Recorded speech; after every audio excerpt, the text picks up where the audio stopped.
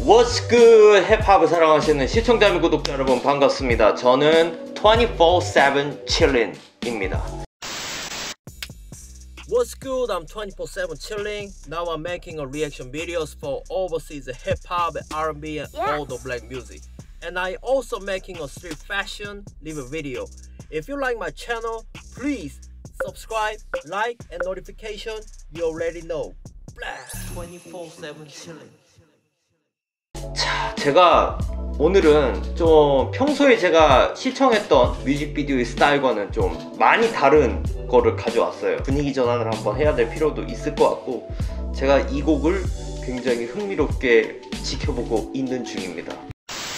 이분이 힙합 아티스트는 저는 아니라고 생각해요. 몽골을 대표하는 디바라고 생각을 하는데 우카라는 이분의 음악을 들어보려고 합니다. 자, 저는 이분을 몽골 힙합 리액션 비디오 하기 훨씬 이전부터 알았어요. 왜 알았냐? 저는 유튜브를 하루 종일 많이 봐요. 그러니까 뭐 일하는 거 외에도 유튜브를 굉장히 많이 보는데 몽골 분이신데 한국에서 유튜브 채널 열고 이제 활동하시는 분들이 좀 있잖아요.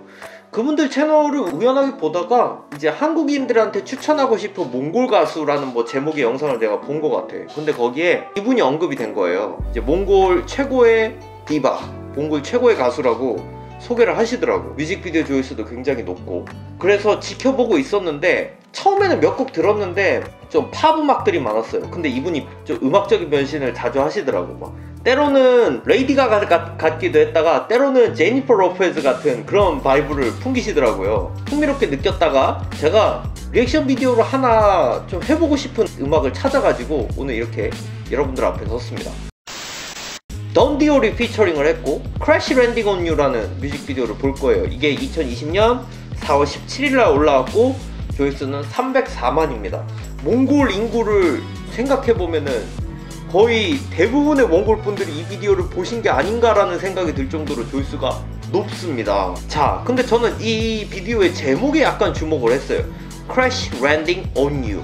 여러분들 한국 드라마 많이 좋아하실 텐데 옛날에 인기를 끌었던 드라마 중에 사랑의 불시착이라는 드라마가 있습니다. 저는 한국 드라마를 잘 안 봐요. 근데 뭐 현빈 씨 나오고 그런 걸로 알고 있는데 그 사랑의 불시착 영문 제목이 Crash Landing on You거든요. 그런데 우카 이분의 그 뮤직비디오들 중에 한국어 자막이 있는 비디오가 유일하게 이겁니다. 그러면 Crash Landing on You랑 사랑의 불시착 드라마랑 무슨 관련이 있는지를 좀 생각을 해봤는데 제가 몇몇 이제 몽골 분들한테 물어봤거든요. 예, 뭐 제가 정확한 정보는 알아낼 수는 없었지만 사랑의 불시착이 몽골에서 촬영됐다는 것도 더 저는 뒤늦게 알게 되었고 그리고 아마 이 우카라는 이 가수분이 제 추측인데 사랑의 불시착이라는 드라마를 인상 깊게 보시고 이 곡을 만드시지 않았나라는 그냥 개인적인 추측을 해봅니다. 아닐 수도 있어요. 이건 개인적인 나의 추측이라는 거예요. 한국어 자막만 유일하게 있는 비디오길래 그런 연관성이 있어서 제가 생각을 해봤습니다. 자, 이 곡 힙합의 범주에 들어가진 않지만 관련이 있는 저는 장르적인 특성이 있다고 봐요.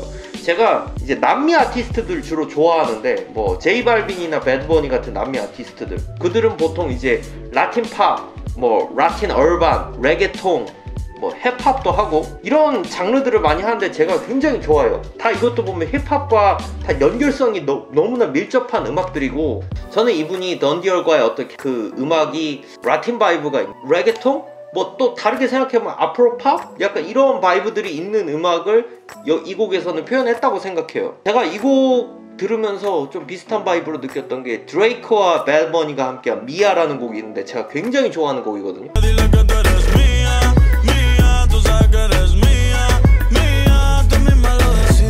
약간 그런 느낌도 있었어. 미아라는 음악이 약간 좀 turn up 시키는 흥분되는 음악이면 Crash Landing on You는 약간 좀 차분한 vibe로 가는 약간 그런 느낌이었어. 뭐 아무튼 서론이 너무 길었는데 제가 이 곡을 퇴근하면서 계속 들었어요. 너무 좋아가지고 한번 분위기 전환을 할 겸 Crash Landing on You 뮤직비디오를 한번 볼 수 있도록 하겠습니다.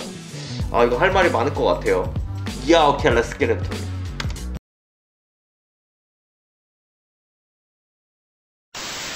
it. Yup, are you enjoying watching my video? Have you still not subscribed to my channel?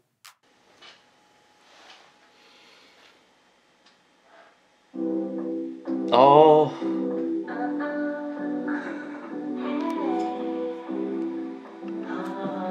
요즘 래퍼들이 많이 이제 자주 만드는 음악 스타일이죠. 좀 음악적인 변신을 줄 때 약간 레게통 바이브나 뭐 아프로팝 이런 느낌들. 오.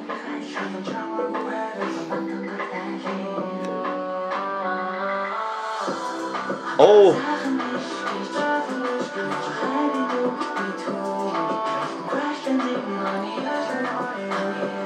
이분이 이 비디오에서는 내 눈에는 제니퍼 로페즈처럼 보이는 거예요. 되게 좀 뭔가 그거 있잖아. 이 표정이나 느낌이나 밝아 보이는데 약간 섹시한 느낌? 저는 제니퍼 로페즈를 되- 제가 미국에서 활동하는 디바들 중에 제일 좋아하는데 약간 그런 느낌이 이분한테도 보이는 거야.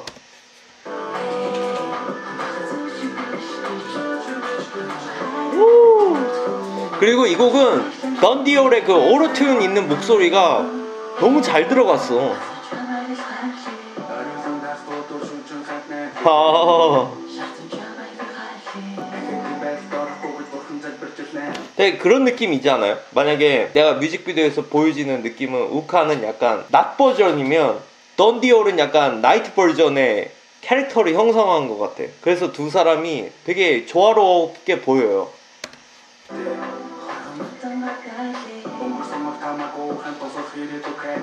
오!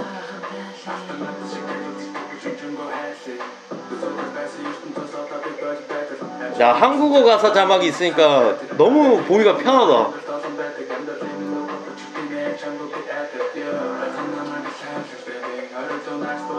아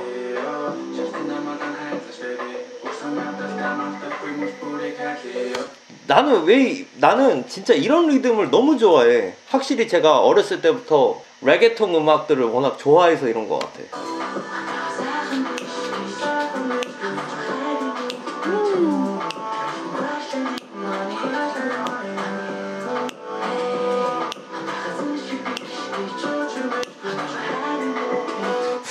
가사도 너무 좋은데 훅 들어갈 때 뭔가 이 우카라는 가수의 그 목소리의 약간 깊이라고 해야 되나? 그게 되게 느껴져서 좋은 것 같아. 아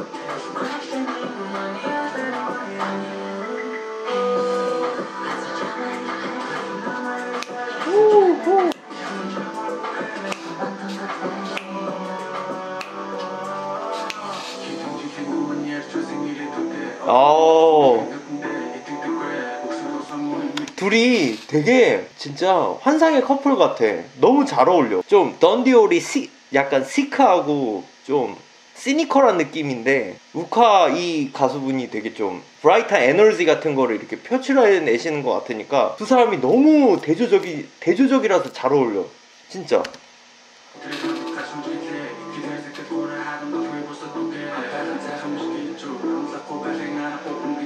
어, 어 진짜 이거 잘 만들었어.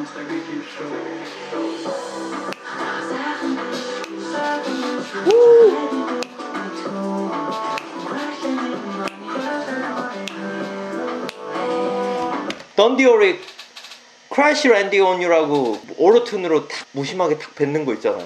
와, 난 이거 진짜 압권이라고 생각해.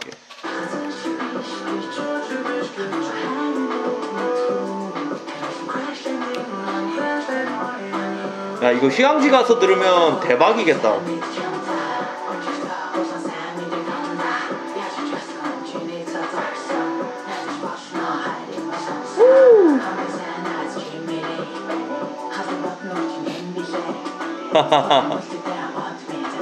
되게 가사가 진짜 스윗해. 뭐라 그래야 되지? 약간 한국어 가요 가사 같은 약간 그런 느낌들도 있는 것 같아. 해석을 해보면.